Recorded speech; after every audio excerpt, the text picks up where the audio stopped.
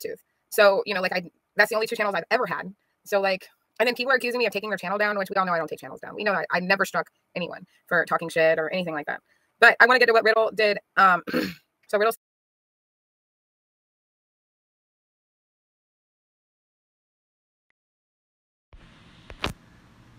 Oh, uh, I'm gonna call bullshit on that one. I'm gonna call bullshit on that one. And we'll go to your messages and read back what you said, okay?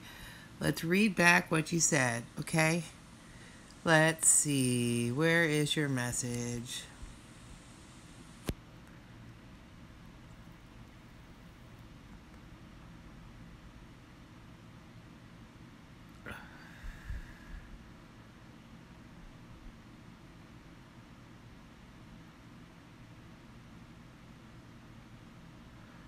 I can also see you'll never break 3,000 subscribers.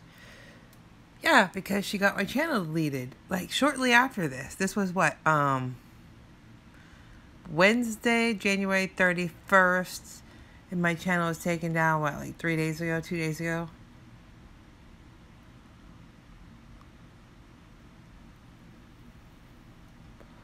And she was making threats like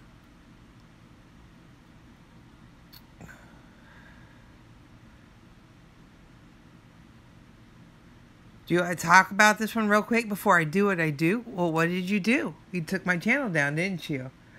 So don't go and lie now. Don't go and lie. You you went in, in basement dwelled and reported every single one of my videos and see which one would, would stick.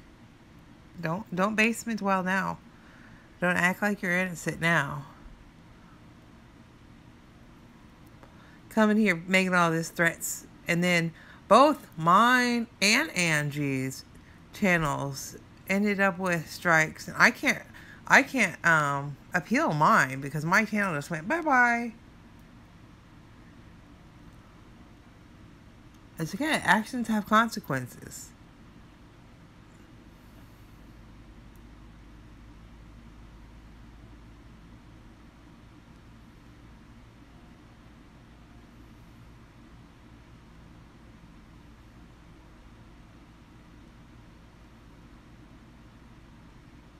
Actions have consequences.